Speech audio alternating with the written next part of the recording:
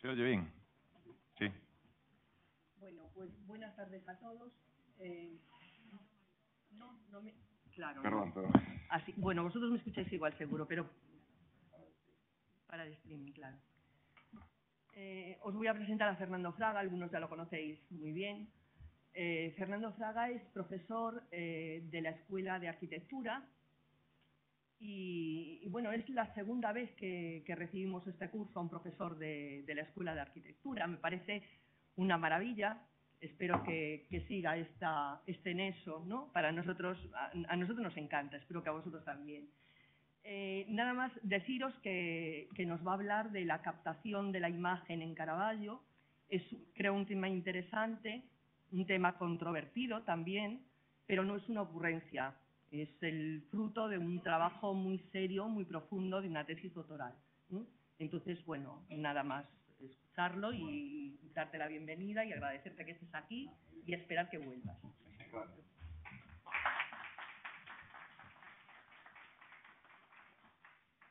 Bueno, para la presentación se puede apagar las luces, porque yo creo que es interesante ver bien las imágenes de la pantalla. Bueno, y ya me ha presentado, soy Fernando Fraga de la Universidad de La Coruña, de la Escuela Técnica Superior de Arquitectura. Y antes de nada, eh, bueno, le quiero dar las gracias a María y a Laura por la invitación y espero que, que le estaba diciendo yo ahora aquí en este coloquio antes de la charla que si alguien diera esta, esta charla yo vendría porque realmente a mí el tema de Caravaggio me apasiona, me gusta el tema de la pintura y pienso que tiene muchas cosas interesantes y voy a intentar que lo sea también para todos ustedes. Bien, eh, en principio voy a, voy a mm, organizarme eh, haciendo un resumen rápido de lo que fue la tesis doctoral, intentando centrarme más en la segunda parte, que es la más interesante, que es eh, cómo Caravaggio eh, pudo haber realizado los cuadros que realizó y cómo los pintores eh, anteriores al año 1600, por poner una cifra, eh, resolvían y pintaban eh, qué instrumentos, qué métodos, cómo lo hacían. Bien, entonces, eh, por empezar por algún lado, el tema de la tesis doctoral tenía un objetivo, eh, muchos objetivos al principio, quería hacer una tesis gigantesca y eh, mi director, que está aquí presente, eh, de una manera acertada me dijo que lo acotara, lo fui acotando y al final se se ciñó al desarrollo de un método eh, compatible y también eh, complementario a los existentes que nos pudieran decir cuándo un pintor había echado mano de algún tipo de instrumento, sea óptico o no, para la resolución de sus pinturas. Bien, eh, también se ciñó, al principio quería estudiar a muchos pintores, y al final lo ceñí al pintor Caravaggio, primero por un tema personal. Yo creo que es mi pintor eh, preferido en todos los aspectos, a lo mejor junto con Velázquez. Y quedó Caravaggio y la captación de la imagen. Bien, el hecho de que existieran eh, trabajos anteriores y publicaciones, algunas muy famosas, con respecto a este tema, por ejemplo, eh, Svetlana Alpers o Lawrence Wright o Martin Kemp, gente muy eh, famosa en, a nivel mundial. Y después eh, David Hockney con el éxito que tuvo con el conocimiento secreto eh, en colaboración con Charles Falcó y ya más recientemente la gente que siguió por ahí como Roberta Lapucci o gente así, eh, lejos de convertirse eh, en un impedimento para el desarrollo de la tesis que yo iba a hacer o la investigación que yo iba a hacer, fueron realmente un estímulo, eh, porque en ellos, siempre que los leía, yo encontraba que quedaban sin resolver interrogantes suficientes para dejar, mmm, dejar sitio a, una nueva investigación desde un punto de vista distinto. En este caso, el mío propio, que sería el punto de vista de un arquitecto, también pintor, y conocedor de los programas de eh, diseño asistido por ordenador. Bien, entonces, al ser una tesis de, relacionada con la pintura, eh, lo que enseguida hubo que hacer fue visitar y conocer los cuadros en persona, cosa eh, interesantísima que recomiendo a cualquiera, siempre es una excusa buena para visitar una ciudad, eh, acercarse a ver un Caravaggio, y la observación de cientos de pinturas, además de la comparación de evidencias y la deducción de conclusiones, eh, fue la manera de trabajar. Todo ello junto con una experimentación en primera persona en el mundo de la pintura y en el mundo del dibujo. Bien, pronto, enseguida, cuando empecé con esto, me di cuenta que mucho de lo que sabemos de algunos cuadros eh, es simplemente mm, incluso la atribución que se hace de un cuadro a un pintor, como por ejemplo eh, algunos de, eh, de, la derecha, atribuido a veces a Caravaggio, realmente depende de una intuición o de una corazonada de un experto o de un especialista. Esto para mí eh, supone echarle una gran sombra encima a esas conclusiones, por, sobre todo debido a los importantes intereses que tiene el mundo del arte y sobre todo los museos.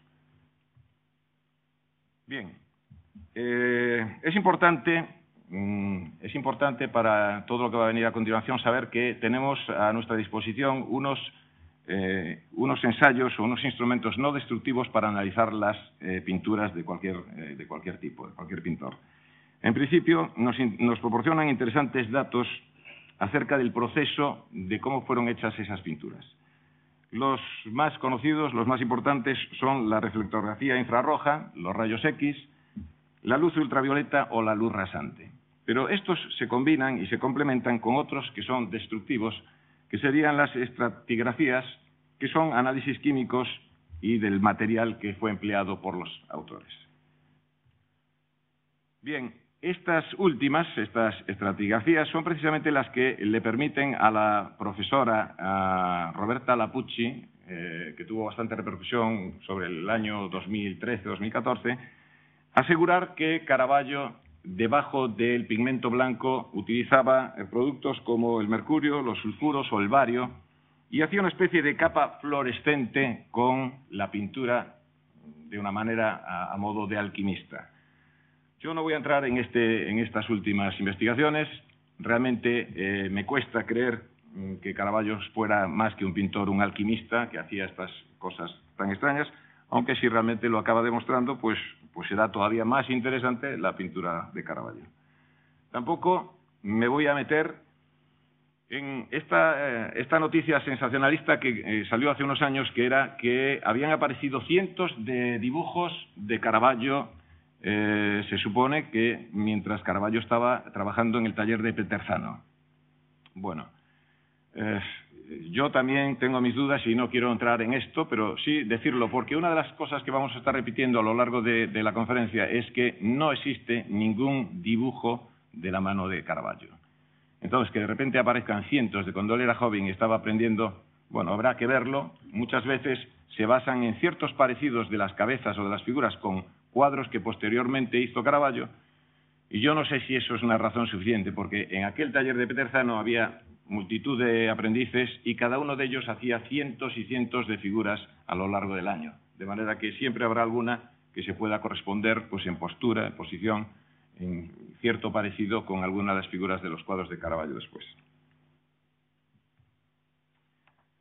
Bien, la tesis y la investigación eh, se separaba en dos partes y cada una en dos apartados.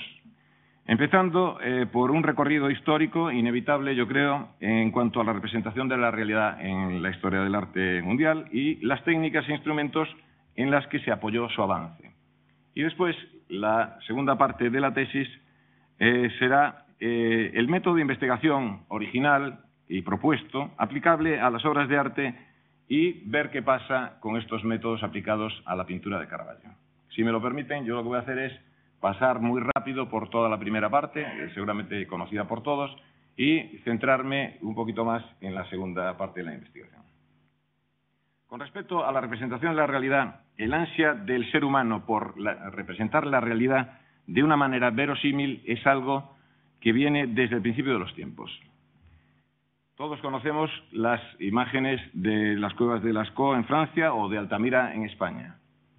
Pero es, muy interesante, perdón, es muy interesante eh, esta cita del profesor Ernst Gombrich en el libro La imagen y el ojo, que dice algo así como que esta imitación de la realidad debe ser un, asunto, un asunto muy complejo y verdaderamente esquivo, pues como si no fueron necesarias tantas generaciones de artistas de talento para dominar sus resortes. Esto es una verdad como un templo. la representación de la realidad a lo largo de toda la historia del arte tardaron en conseguirla de una manera totalmente adecuada muchos siglos. En el siglo XIII aparece la figura de eh, Giotto di Bondone, que este es un cuadro de él, Isaac bendiciendo a Jacob, y vemos eh, la calidad que tiene, el dibujo que tiene, y si oímos a Vasari en sus vidas de los más excelentes pintores, escultores y arquitectos, pero también a Zenini o a Boccaccio, hablan de él describiendo a, Giotto como eh, dotado de un talento casi sobrenatural, capaz de representar en sus cuadros imágenes que confundían por surrealismo tanto a personas como a animales. Habría que ver qué decían estos autores cuando poco más de un siglo después aparece Van Eyck y reproduce al hombre del turbante de esta manera. Hombre, eh, que aparezca este salto cualitativo en la imagen y en la representación puede, eh, yo lo encuentro tres explicaciones. Una de ellas sería simplemente por generación espontánea. De repente, en Europa del Norte aparecen pintores que son, a nivel de talento y de capacidad, mejores que toda la historia anterior eh, de la, humanidad. Ciertamente no creo en esta explicación, pero sería una de las explicaciones. Por casualidad, de repente, todos eh, aprendieron a dibujar mejor y pintan eh, de una manera excelente. También podría ser, la segunda explicación, los avances teórico-prácticos, entre ellos el desarrollo de la perspectiva. Pero si estamos hablando de retratos o de figuras, la perspectiva no tiene tanto interés. La perspectiva soluciona otras cosas, pero no soluciona nada cuando estamos dibujando un retrato.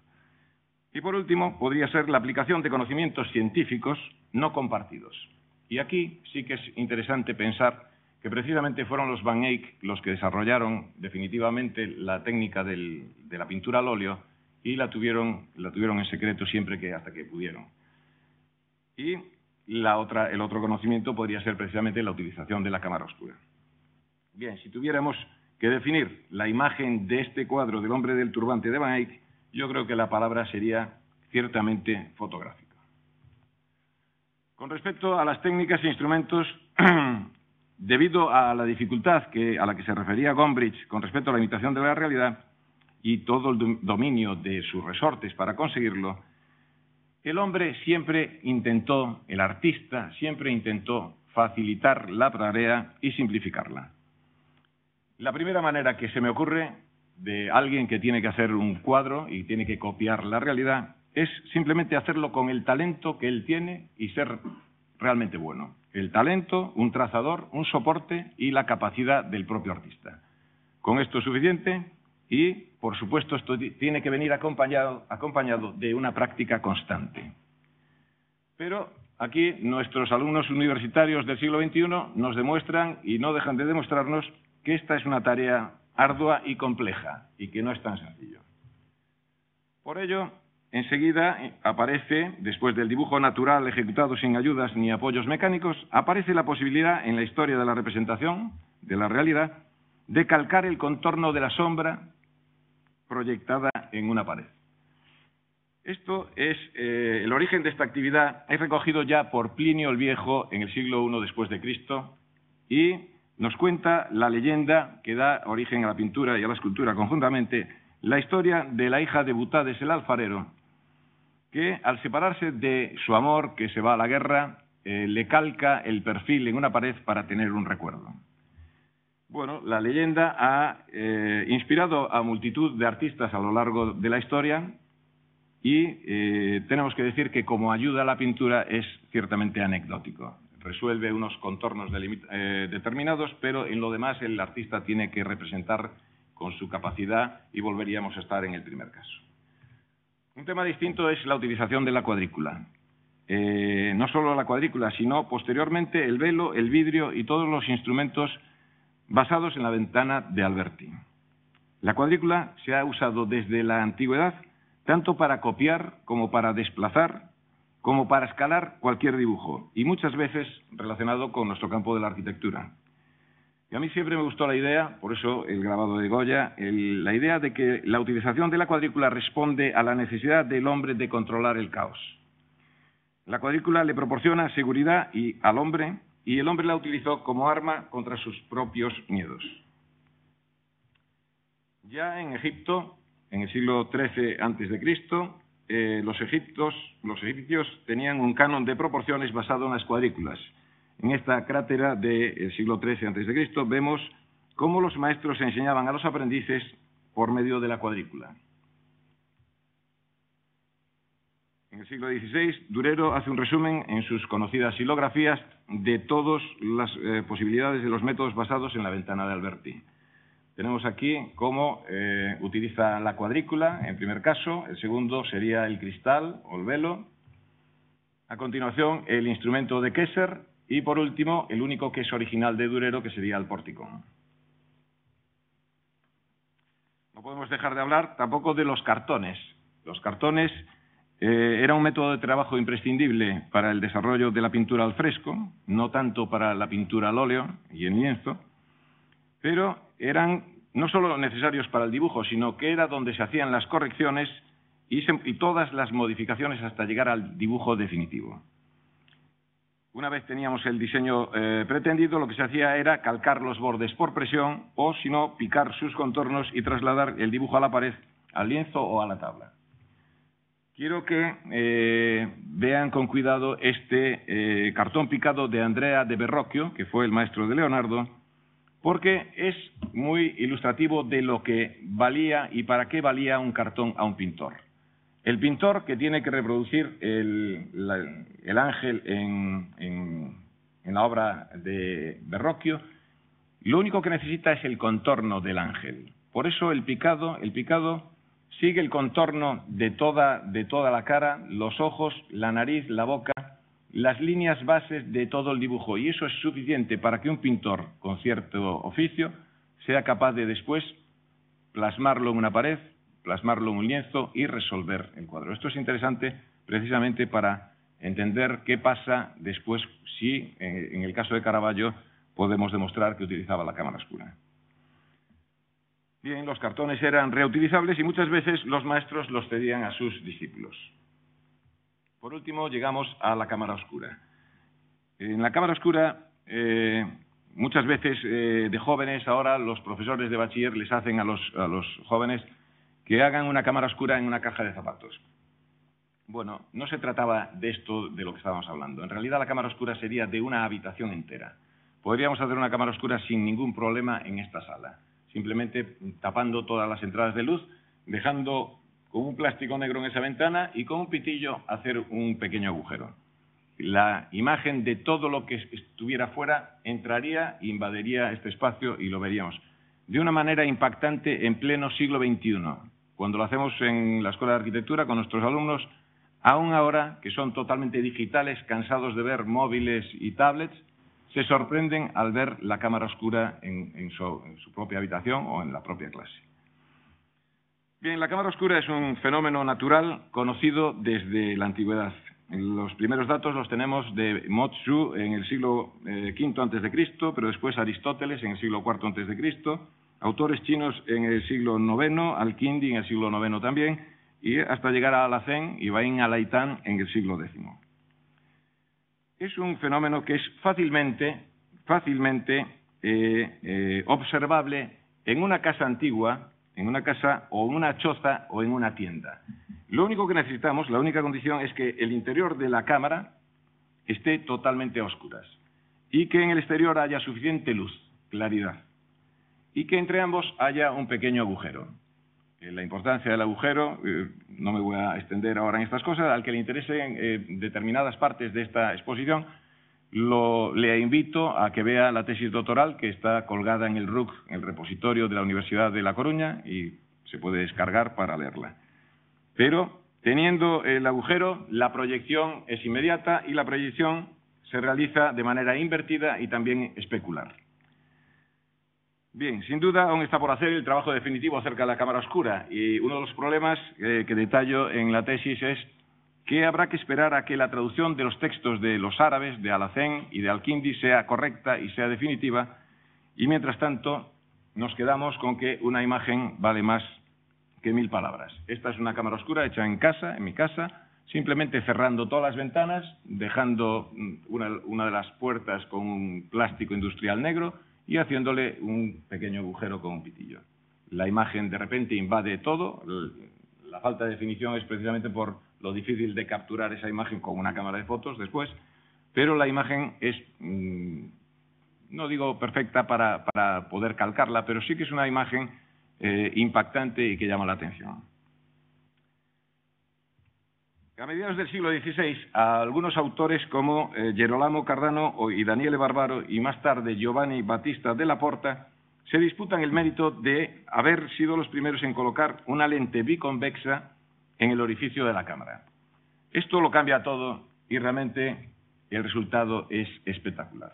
Espectacular es poco. Es una cosa, piensen que no es solo una fotografía lo que estamos viendo, sino que la persona a la que estamos viendo, si se mueve, la vemos moverse, si pasa un pájaro, vemos el pájaro, y estamos diciendo que sorprende en el siglo XXI. Pues, ¿cómo sería la sorpresa de la gente en pleno siglo XV, XIV o XVI?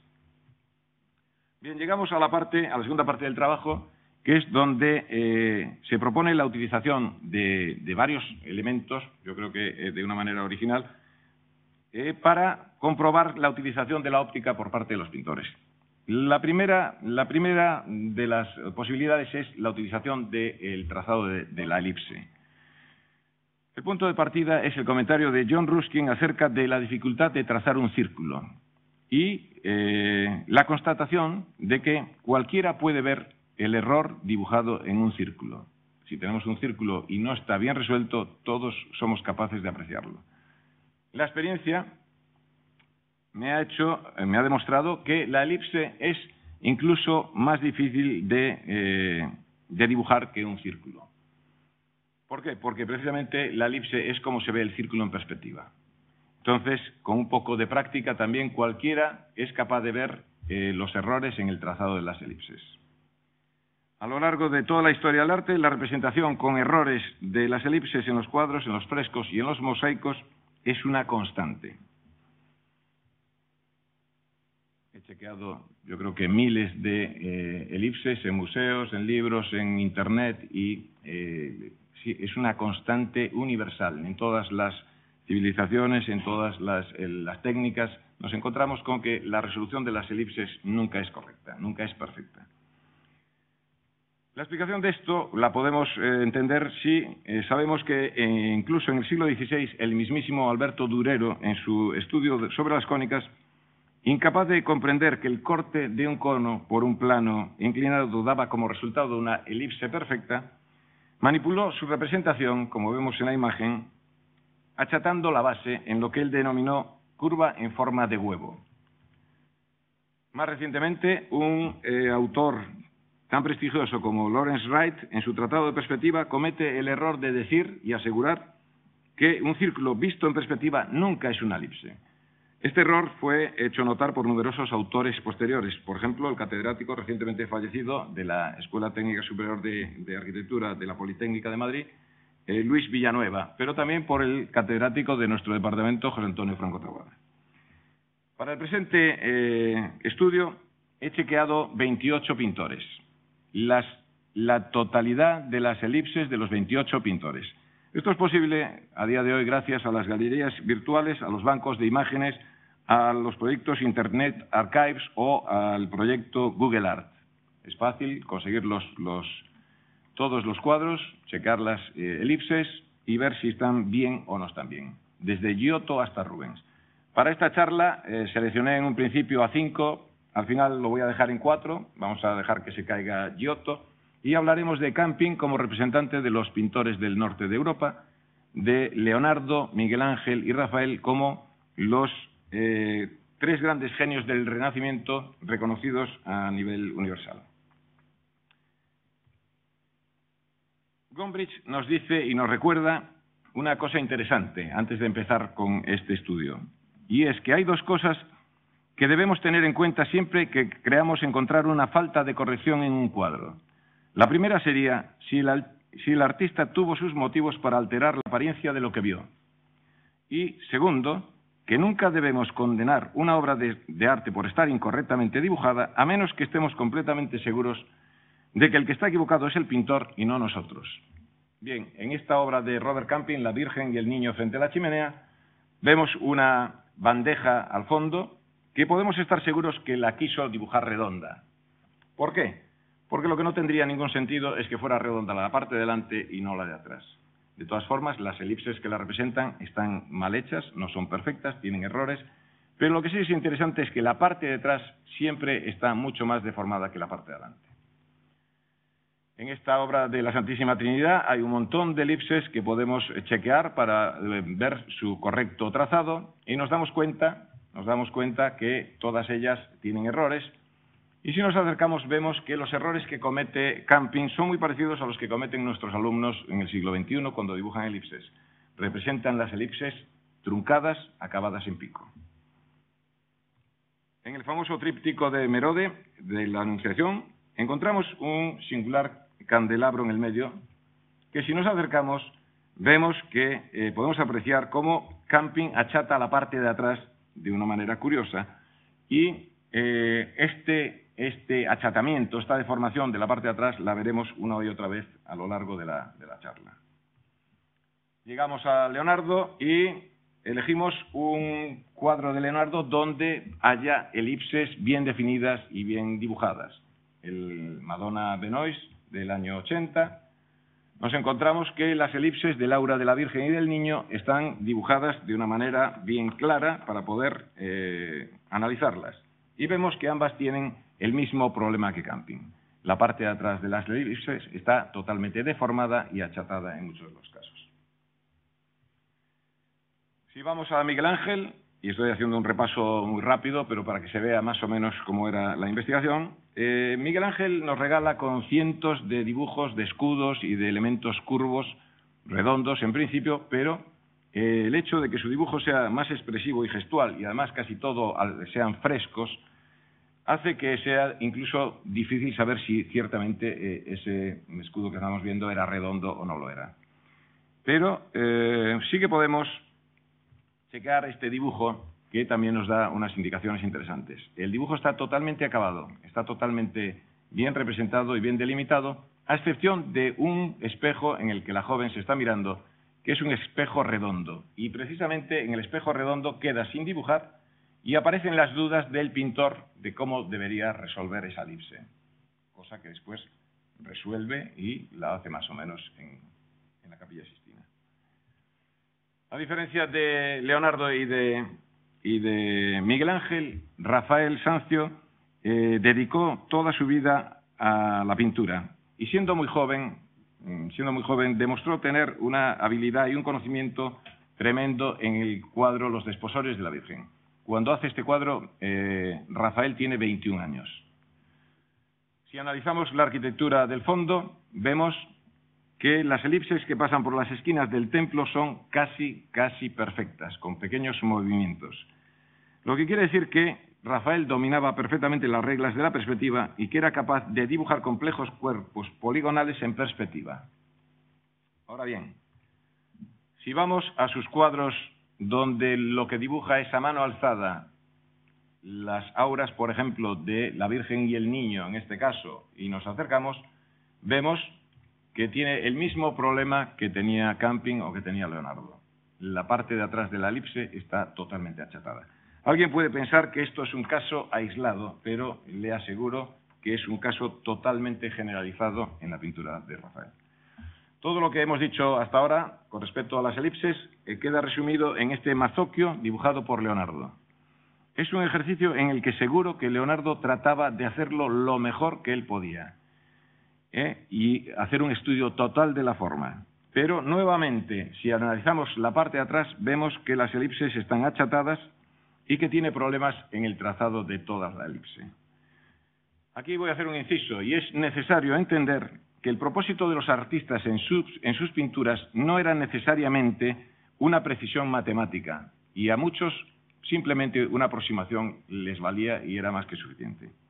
Pero la pregunta que surge después de ver esto es que si ni siquiera Leonardo, ni Miguel Ángel, ni Rafael fueron capaces de dibujar elipses perfectas a mano alzada, ¿quién y cómo pudo superarles? Llegamos a nuestro invitado especial, el pintor Miguel Angelo Merisi de Caravaggio, conocido como Caravaggio. La pintura de Caravaggio no deja indiferente a nadie. Aún ahora, en los museos de todo el mundo, son obras que siempre tienen gente delante eh, admirándolas y, analizándolas y viéndolas. Es, eh, para mí son muchas de ellas auténticas maravillas. Pero un pintor mm, contemporáneo de, Caravaggio, por ejemplo, eh, Federico Barocchi, para hacer un cuadro parecido a los que hacía Caravaggio, realizaba este proceso.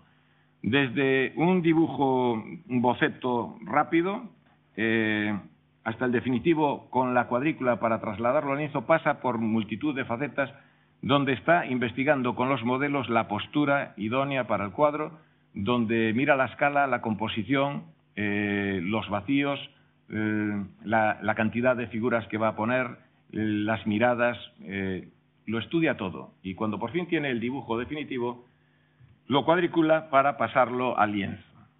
Y aún en el cambio mm, pasan cosas y, sigue retocando una y otra vez el, el, trabajo. Este trabajo podía llevar meses desde que se empezaba y se preparaba el lienzo. Piensen que además tenía que preparar los lienzos, tenía que preparar las pinturas, tenía que tener el sitio de trabajo, tenía que hacer tantas cosas que era un oficio realmente complicado. Un cuadro de este estilo podía llevar meses, como estábamos diciendo, pero en el caso de Caravaggio hay un acuerdo, mm, los expertos están de acuerdo en que su proceso era un poco distinto. Vamos a mirarlo eh, paso a paso y, en principio, hay acuerdo de que el proceso era más o menos así. Disponía eh, una imprimación en el lienzo y encima de la imprimación hacía una disposición de zonas más claras sobre el fondo oscuro. En ellas indicaba las cuatro o cinco cosas que le interesaban en ese momento y a partir de ahí hacía un bosquejo en medias tintas. Este bosquejo lo hacía con la misma pintura y sería lo más parecido a un dibujo previo, a un boceto preparatorio que hacía Caravaggio en cualquier momento de, todo el desarrollo del cuadro. A partir de aquí, eh, resuelve los drapeados, Incorpora blanco de plomo y negro vegetal. La, profesora eh, Roberta Lapucci es aquí cuando dice que debajo de este blanco aparecen los materiales, eh, la capa luminiscente eh, que permitiría hacer esas protofotografías. Yo creo que simplemente aparece el blanco, plomo, el negro vegetal y a partir de ahí realza los pliegues con blanco puro, continúa, fusiona el fondo oscuro con las figuras Hace un modelado a base de muchas veladuras con mucho cuidado. Incorpora los detalles, los colores y acaba el proceso del cuadro. Esto supondría la no existencia de un dibujo previo en los cuadros de Caravaggio, la no existencia de ningún tipo de dibujo preparatorio para hacer los cuadros que todos admiramos.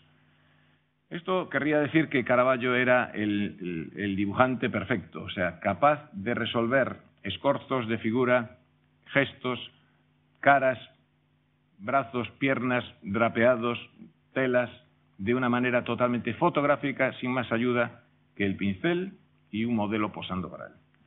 Hay otras características, yo creo que esa es la más interesante, la más curiosa también, pero hay otras eh, que podemos comentar. Por ejemplo, el fondo oscuro y la falta de referencias espaciales. El fondo oscuro, cuando escuchamos a historiadores del arte o a especialistas en Caravaggio y leyendo los libros eh, interesantísimos que ellos han escrito, eh, empiezan a aparecer temas simbólicos, eh, temas de la exégesis bíblica y cosas por el estilo, intentando explicar que la oscuridad, la luz, yo creo que es todo un poquito más práctico. Lo que significaba el fondo oscuro era que había menos cosas que pintar. Y al haber menos cosas que pintar, Caravaggio se podía centrar en el motivo que le interesaba. Significaba también la transición de la figura y los interiores arquitectónicos que al final de su, los últimos cuadros de su carrera, eh, acabó dejando incluso la imprimación a la vista, cosa que le criticaron algunos contemporáneos, pintores contemporáneos. Oculta cualquier elemento que proporcione datos sobre las estancias en las que se desarrolla la acción. Lo oculta de una manera curiosa, pero a día de hoy podemos aclarar los cuadros de Caravaggio y echarle un ojo a cómo era la resolución de la perspectiva de una cosa tan sencilla como es una pared con una ventana. Bueno, está claro que el conocimiento acerca de la perspectiva que tenía Caravaggio no era ni mucho menos el que tenía Rafael. Los errores son constantes, los errores son de bulto y el conocimiento de la perspectiva está claro que no era su fuerte. Incluso si nos acercamos a nivel espacial pasan problemas como el que podemos apreciar aquí, donde el enterrador está llevando el cadáver y lo empotra en la pared que está detrás de la chica que le da el pecho al, reo, en las siete obras de misericordia. Bien, hay otra cosa que a mí, yo creo que fue la primera que me llamó la atención, era la rapidez de ejecución de Caravaggio con la exactitud y la perfección que hacía los cuadros. Eh, traigo varios, varios ejemplos eh, para comentar y uno sería precisamente el que estamos viendo, que es el encargo que le hacen para San Luigi de Francesi en Roma, para la capilla Contarelli, exactamente es el tercer encargo que le hacen para esa capilla, ya había hecho los dos laterales y esto es para el altar. Y se trata de San Mateo y el ángel. Bien, se sabe que firma un contrato eh, para hacerlo de tres meses y catorce días. Caravaggio se va a su estudio, se encierra y presenta el cuadro que ven a la izquierda. Está en blanco y negro porque lo único que nos queda de ese cuadro es una fotografía en blanco y negro. Fue destruido en la Segunda Guerra Mundial. Parece ser que eh, ese cuadro cumplió con los tres meses y catorce días y fue rechazado por falta de decoro. Los pies del santo apuntando al, espectador, esa mm, postura del ángel que tocaba la mano, parecía que San Mateo era analfabeto. El caso es que lo rechazan y Caravaggio vuelve a encerrarse en el estudio y resuelve el segundo de los cuadros, que es el que está en la actualidad en la, en la capilla Contarelli. Bien, acabó el segundo cuadro cumpliendo con el plazo de tres meses y catorce días. Esto es una rapidez inusual, con esta calidad, con este dibujo perfecto, pensando cómo lo hacían todos los pintores contemporáneos a Caravaggio. Hay otros casos también llamativos, por ejemplo, el cuadro que acabamos de ver de las siete obras de misericordia eh, fue hecho en menos de siete semanas y contamos desde la composición, el tamaño, los colores, el encaje, el lienzo, la preparación del lienzo, las imprimaciones, los tanteos, todo en menos de siete semanas. Incluso un cuadro de los más grandes que hizo, el del entierro de Santa Lucía, que está en Siracusa, le llevó, eh, está documentado, menos de un mes de trabajo. Bien, hay otras, bueno, casi que les voy a leer unas declaraciones de, eh, primero, de Velori, uno de los primeros biógrafos, eh, acerca de este tema de la velocidad de ejecución de Caravaggio. Velori nos dice que tras, pintar durante algunas horas del día, está describiendo la actividad como pintor de, de Caravaggio, dice, tras pintar durante algunas horas del día, se dejaba ver por la ciudad con la espada al flanco y hacía profesión de armas, aparentando atender a cualquier cosa menos a la pintura. Van Mander, pintor holandés que también escribió acerca de Caravaggio, contemporáneo de Caravaggio, nos dice que más también junto al trigo está la cascarilla, porque él no se sujeta con constancia al estudio, sino que tras 15 días de trabajo se pasa un mes o dos fanfarroneando con la espada al flanco, yendo de un juego de pelota a otro, siempre dispuesto a entrar en riñas o alborotos. Esto es algo que sabemos, eh, hay cientos de documentos, hay juicios, hay un montón de, escritos e investigadores que han mm, contado cómo la vida de Caravaggio no era un ejemplo eh, de, persona trabajadora, estable, metódica, sino todo lo contrario. Esto es algo más encima del tema de la rapidez de ejecución de esos cuadros que hay que combinarlo para darse cuenta de la velocidad con que realmente hacía los cuadros. Bien, las incesiones es una característica técnica muy peculiar de, de Caravaggio. Es yo creo que es una estrategia. Ahora hay unas nuevas, eh, mm, hay unas nuevas teorías acerca de las incisiones, que por qué las hacía. Yo sigo creyendo que es simplemente una estrategia de Caravaggio para el posado de los modelos en las distintas sesiones de posado, para volver a colocar al modelo en la posición que él quería. Le están dando muchas vueltas y parece que hay algunas posibilidades de que lo usara para otras cosas, pero yo creo que realmente era para esto, el posado de los modelos. Las incisiones son apreciables con la luz rasante y la última característica eh, que quería comentar es el tema del uso de modelos.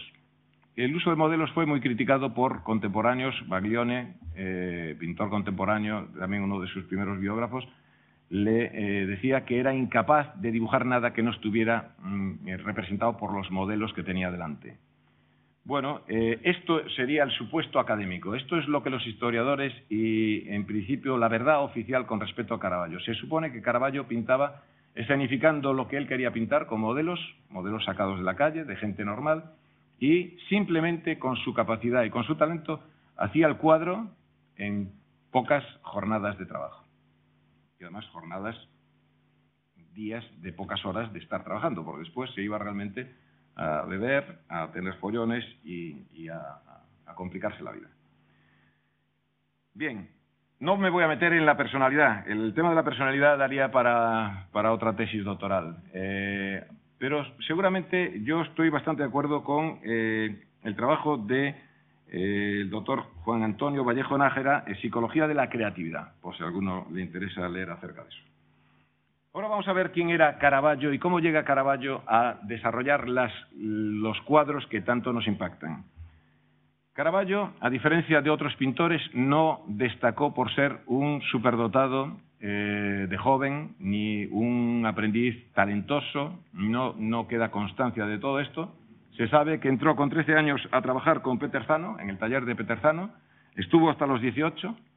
El contrato que firmó su familia para trabajar con Peter Zano suponía que tenía que aprender la técnica del fresco, no la aprendió. Se sabe que no la aprendió porque después cuando tuvo mm, la oportunidad de ganar mucho dinero en un encargo de un fresco, no hizo un fresco, sino que hizo una pintura al óleo. Y eh, se fue a Roma cuando tenía 21 años. Bien, antes de llegar a, una vez llegado a Roma, él eh, tiene, eh, trabaja con una serie de pintores antes de llamar la atención del cardenal Francesco María del Monte. Esta imagen la he puesto simplemente para comparar a dos pintores, Rafael con 21 años y Caravaggio con 21 años. Esta es la primera obra que se atribuye a Caravaggio y en ella podemos apreciar los problemas de dibujo que tiene Caravaggio con 21 años. Así como Rafael es un pintor totalmente maduro y capaz, vemos cómo Caravaggio a la misma edad está buscando desesperadamente controlar ese dibujo donde en esa cara de ese niño pelando fruta nos encontramos la oreja mal colocada, los ojos desviados y una mueca extraña en la boca. Bien, llega a Roma y eh, en 1594 contacta por primera vez con el cardenal Francesco María del Monte y se traslada a vivir con él y a trabajar con él en el Palacio Madama. En el último viaje eh, que hice a Roma para ver una de las cosas que quería ver era precisamente el Palacio Madama para ver si este grabado era realmente así, sobre todo las ventanas que dan al sótano y me cercioré de ver que era realmente estas de aquí son las reales las que siempre tuvo, que son ventanucos de un metro por un metro, que son los que dan luz al sótano y que coincide con algunas representaciones de la luz que salen en los cuadros de Caravaggio. Esa es una imagen de Francesco María del Monte. Y llegados a este punto tenemos dos posibilidades, por resumirlo todo, de eh, cómo es, cómo la gente dice, o cómo los expertos y los historiadores dicen que Caravaggio pintaba sus cuadros. la primera posibilidad es el supuesto académico, es la verdad oficial. Caravaggio, como en esa imagen que vemos arriba, escenificaba todo el cuadro que iba a representar a la vez delante de, en su estudio, en, su sótano, con la luz cenital, y simplemente dibujaba con una precisión que parecería un, trazador de, de, los que usamos los arquitectos para no equivocarse en proporciones, ni en dibujos, ni en nada. Acabamos de ver que a los 21 años no era así y tenía problemas de dibujo. Se supone que también por generación espontánea de repente acabó siendo un dibujante perfecto. Lo que llama la atención de esto es que habría que explicar por qué, por ejemplo, en este cuadro que está escenificado, que es el entierro o el tránsito de la Virgen, eh, por qué hace lo que hace. Y me voy a explicar. Poco antes del encargo de la muerte de la Virgen, del tránsito de la Virgen, le encargaron eh, la Virgen de los Palafreneros, un cuadro que iba a ser puesto en la Basílica de San Pedro. Lo realizó, lo colgaron y a los dos días fue descolgado por falta de decoro. Nuevamente.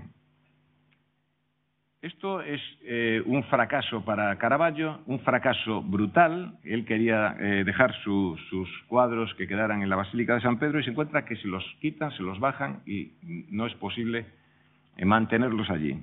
Y poco tiempo después le encargan el tránsito a la Virgen y va Caravaggio y utiliza como modelo a una prostituta conocida en Roma que se había ahogado. Cualquier pintor, cualquier pintor, a excepción de Caravaggio, lo que hubiera hecho era utilizarla, bueno, pues la utilizamos, pero le cambiamos ligeramente el rostro para que no la puedan reconocer. Él se estaba jugando su prestigio, estaba jugándose la fama, estaba jugándose el dinero y no fue capaz o no quiso hacerlo. Le puso la cara de la prostituta y tuvo un problema también con el cuadro del entierro de la Virgen. Bien, la segunda de las posibilidades sería la que, eh, la que siguen, Rosella Bodret, hizo una interesante eh, exposición hace muchos años, y después David Hockney con Charles Falcó y con todos los que vinieron a continuación.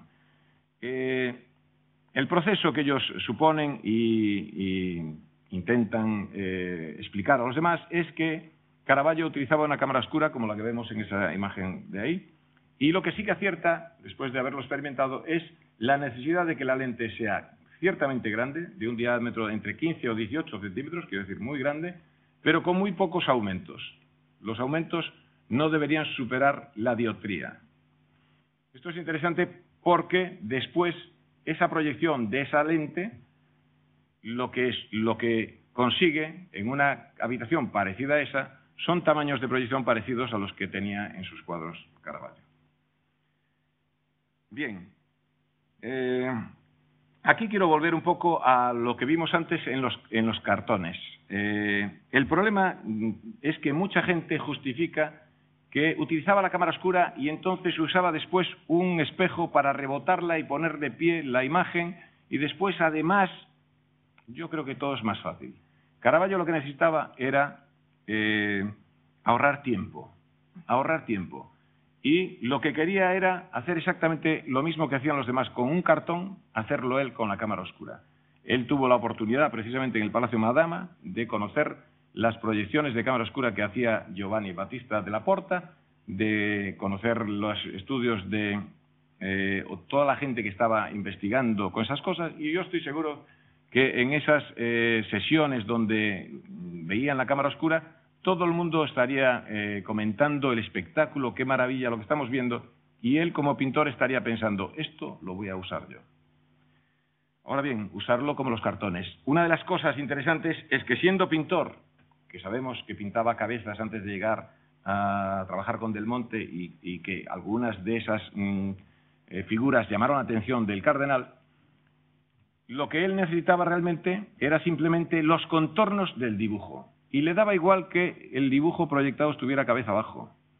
Simplemente lo calcaba. Ahora bien, aquí Hockney está en este documental está haciendo como que lo calcaba con un carboncillo. No, él no lo calcaba con carboncillo. No, no quedó rastros del carboncillo. Él lo calcaba directamente con la pintura, con una pintura diluida encima de la imprimación del lienzo. Después le daba la vuelta y con los modelos hacía lo que sí que sabía hacer, que era ser Caravaggio tener esa calidad en los acabados, esas veladuras y hacer un Caravaggio sabiendo que el dibujo estaba perfecto. El ahorro de tiempo era brutal y no le suponía ser un alquimista ni tener un laboratorio de cosas. Le suponía tener una lente guardada en el bolsillo. La podía llevar a donde fuera. Se sabe en uno de los eh, eh, en uno de los inventarios que se realizan cuando tiene un problema por culpa de, la rotura de un techo precisamente donde iba a trabajar, se sabe que le encuentran ocho piezas de cristal. Así está dicho. La profesora Roberta Lapucci dice que eran ocho lentes, y seguramente fueran. También le encuentran el espejo convexo que después usaba para algunas de sus obras. Bien, en este punto eh, voy a introducir otra de las mm, novedades que eh, en, la, investigación se me ocurrió y eh, intenté utilizar. Era el modelado de un cráneo en 3D en un programa de modelado de sólidos siguiendo las estipulaciones del Atlas. de eh, anatomía humana del profesor Johannes Sobota, que se estudia en todo el mundo. Bueno, yo necesitaba un cráneo de lo más común posible, de, en principio de un varón, después necesitaba también el de, el de una mujer, necesité también el de un niño, tuve que hacer adaptaciones, pero el caso es que con estos cráneos lo que me interesaba era colocar el cráneo, como estamos acostumbrados a ver en las radiografías, y siguiendo todas las... Eh, los estudios acerca del reconocimiento facial y un poco la experiencia de, pintar y de dibujar, saber dónde colocar las órbitas del, del secráneo, las fosas nasales y algunos puntos para saber si eh, correspondía exactamente con la pintura, o si estaba bien o si estaba mal dibujada la pintura que estábamos analizando. Es verdad, es verdad que antes de utilizar los cráneos yo intenté buscar un software que con una sola imagen, con una sola fotografía, esto eh, de una persona, una fotografía, fuera capaz de hacer un 3D. Y realmente hay algunos que lo consiguen. Por ejemplo, el FaceGen, eh, Modeler y también el Facial Studio son dos programas que tienen tantas posibilidades que te vuelven loco que si lo haces con mucha paciencia eres capaz de encajar perfectamente sobre una imagen en 2D un elemento 3D que se parece realmente. Pero en ese momento, cuando estaba con esto, contacté con el profesor Volker Blanz y Thomas Better. Estos dos profesores son de la Universidad de Siegen en la Facultad de Ciencias y Tecnología.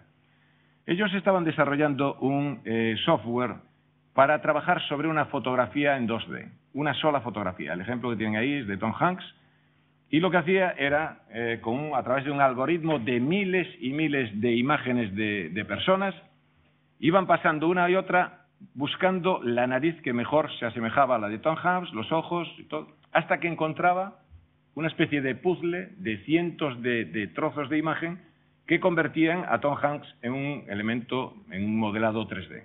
Esto para mí era súper interesante porque podríamos aplicarlo a una pintura y ver si realmente los ojos estaban bien colocados, si había errores de, la concepción del rostro, si había errores eh, que la oreja no está en su sitio o cosas por el estilo. Bueno, la mala suerte fue que estando en plena tesis, después de eh, escribirme con el, profesor Volker, eh, llegó el momento del jarro de agua fría y me dice que van a dejar de trabajar con ese algoritmo, que mm, problemas por todos lados, problemas de presupuesto y que lo siente mucho, pero que no va a seguir con eso.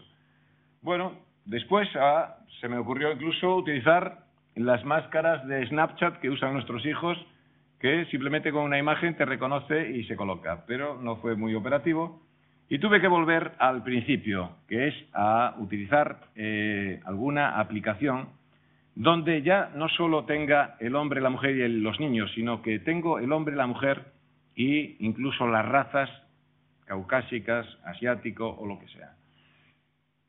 Esto es interesante porque eh, hay aplicaciones para iPad que son de medicina totalmente, que, bueno, hay que comprarlas, pero que permiten el movimiento, el acercarse o alejarse eh, a la calavera y colocarla en el espacio como queramos. Incluso permite abrir la boca, cerrar la boca, que sea hombre, que sea mujer, que sea niño. Eso es importantísimo porque es muy práctico. Podemos trabajar y para eso les voy a poner un ejemplo. Esto es el entierro de Cristo el de la izquierda es el cuadro de Caravaggio y el de la derecha es una copia que hace Rubens. Rubens era un admirador de la pintura de Caravaggio. Yo estoy seguro que eh, Rubens era un admirador porque veía que eh, Caravaggio dibujaba y hacía cosas que, él, a él o le costaba muchísimo o que, o que era incapaz.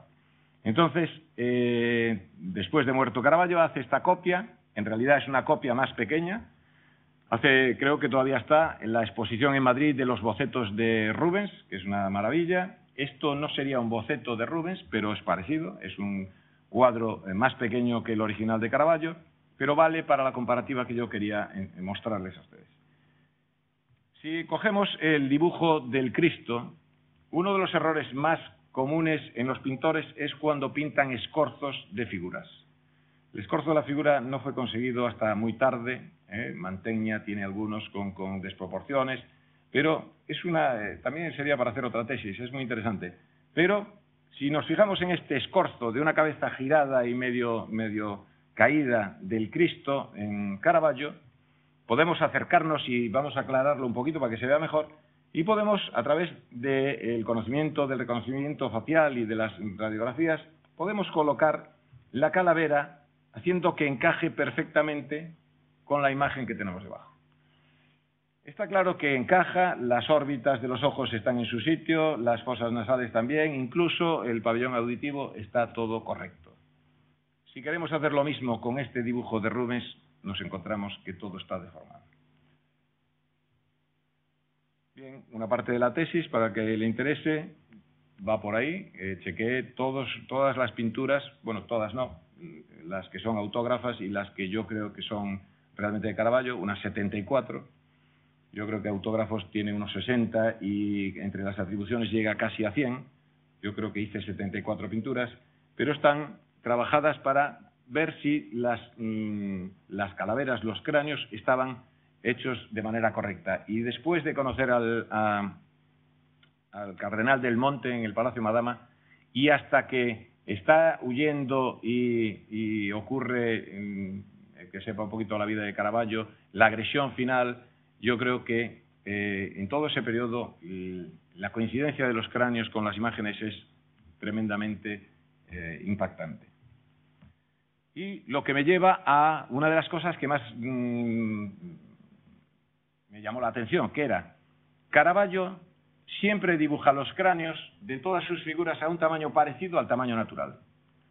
Un poco más grandes y un poco más pequeños, pero nunca hace, como otros pintores, cualquiera, Goya, Rubens, Tiziano, cualquiera, tiene cantidad de figuras con las cabezas muy pequeñas, pues a este tamaño, a tamaño más grande.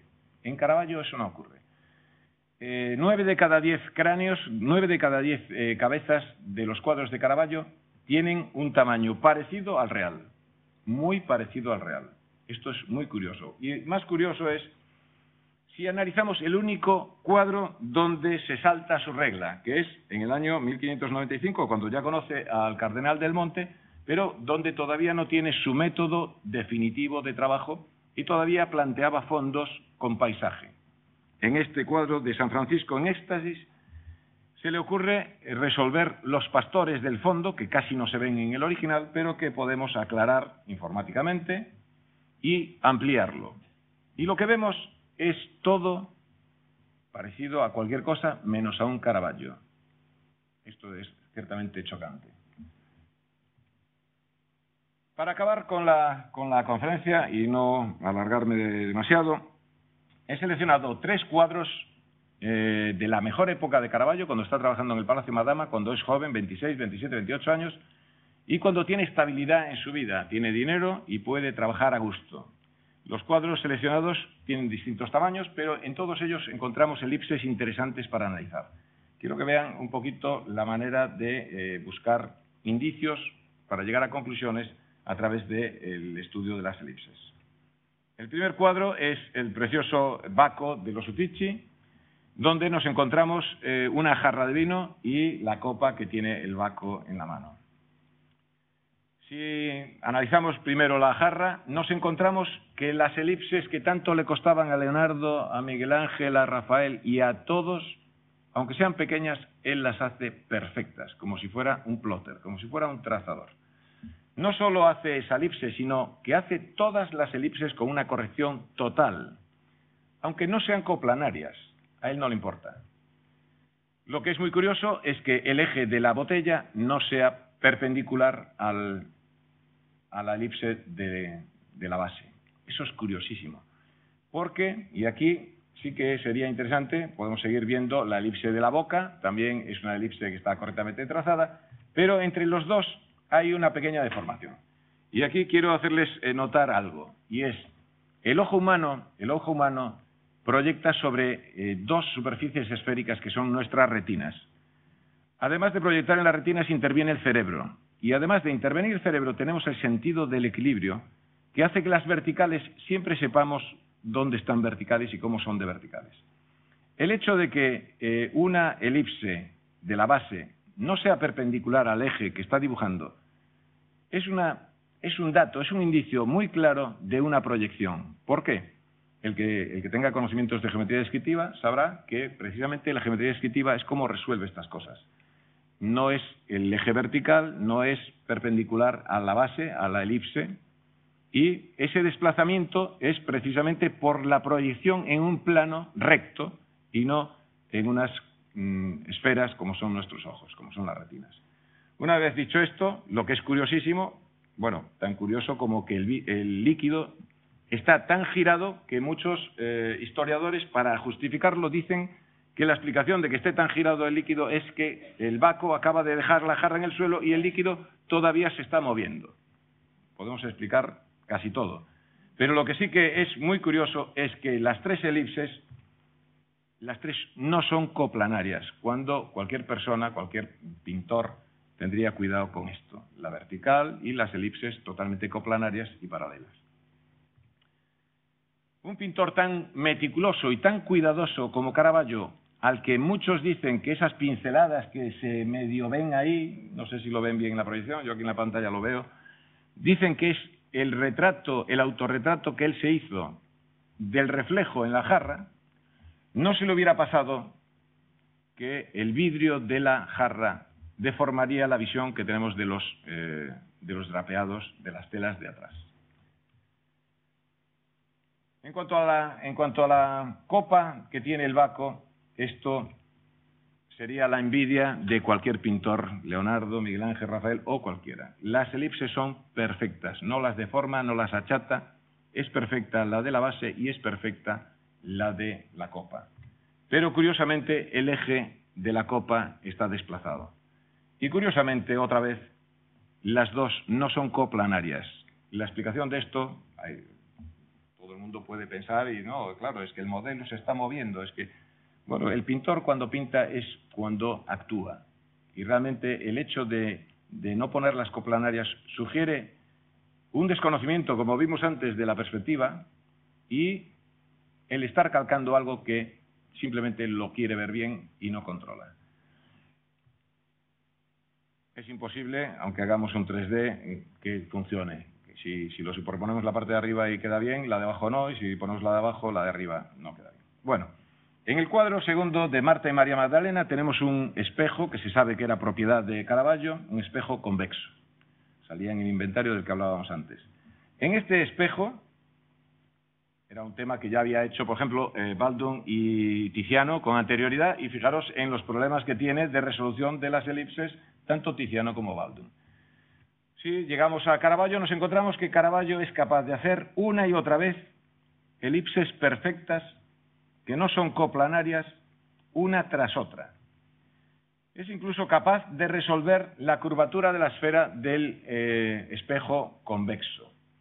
Pero, curiosamente, si nos acercamos a la parte alta del cuadro, vemos, aparte de ver el ventanuco del sótano del Palacio Madama, que mide uno por uno más o menos y que está representado en el reflejo del espejo, vemos una cosa curiosísima y es que en la penumbra, en la penumbra, en la zona que la proyección no alcanza, porque si alguna vez hacen una cámara oscura verán que no es tan fácil, se calca muy bien lo que tiene mucha luz, pero no tan bien lo que no tiene tanta luz justo en la zona de penumbra, que él está acostumbrado a tapar los problemas con telas y con astutos, astutas soluciones, se encuentra que en este rincón de aquí no puede ver lo que está calcando y comete un error brutal, porque no es aproximado, es de muchos centímetros.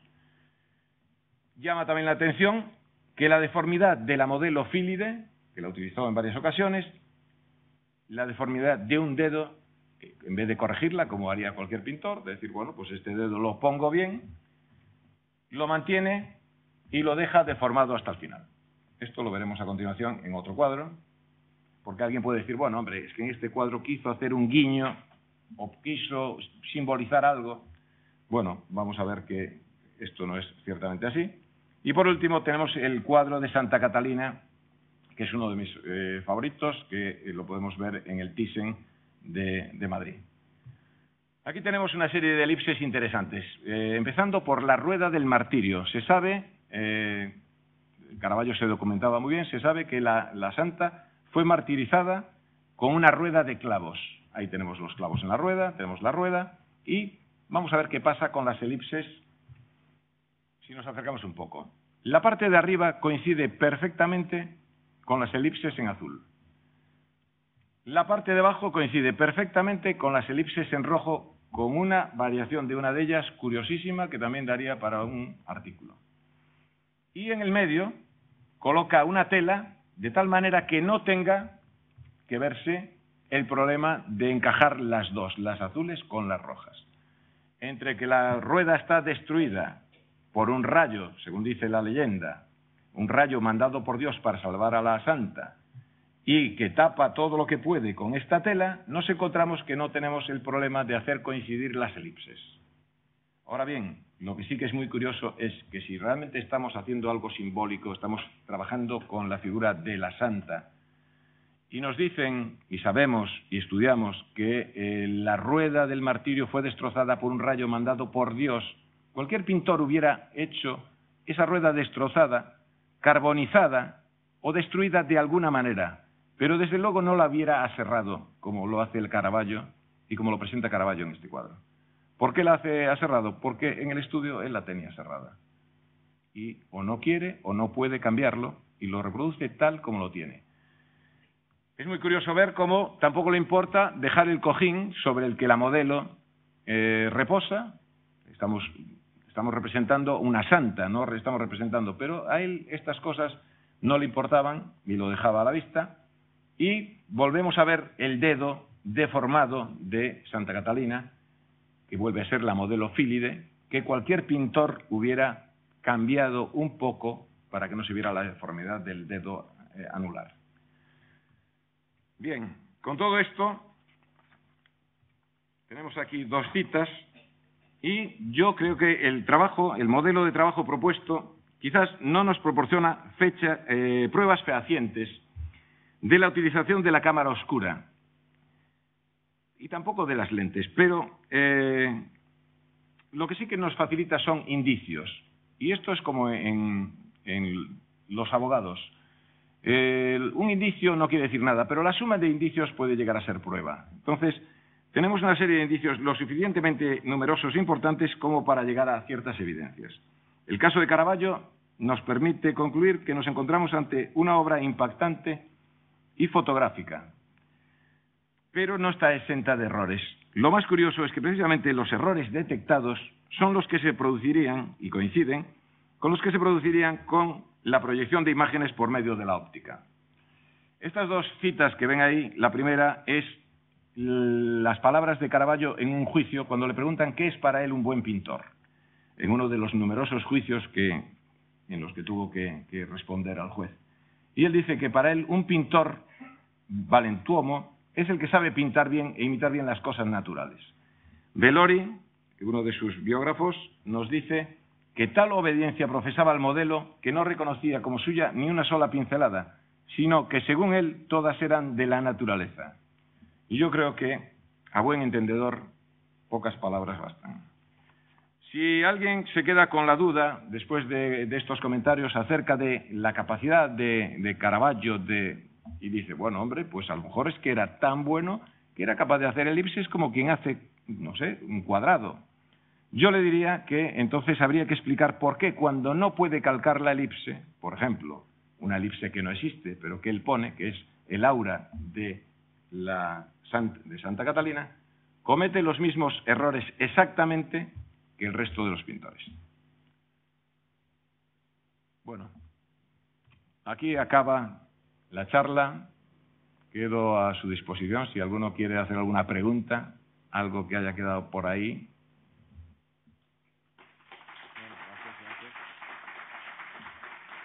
No sé si fue muy largo.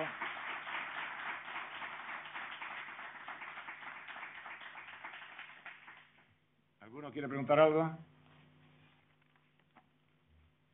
No habrá quedado tan claro todo, ¿no? Bueno, espero no haber sido pesado ni, rollo. Es una horita más o menos de, de charla. Yo les agradezco muchísimo que hayan venido. A todos. Pensé que íbamos a estar aquí cuatro amigos. O sea que muy bien. Muchas gracias a todos y hasta otra ocasión. Thank you.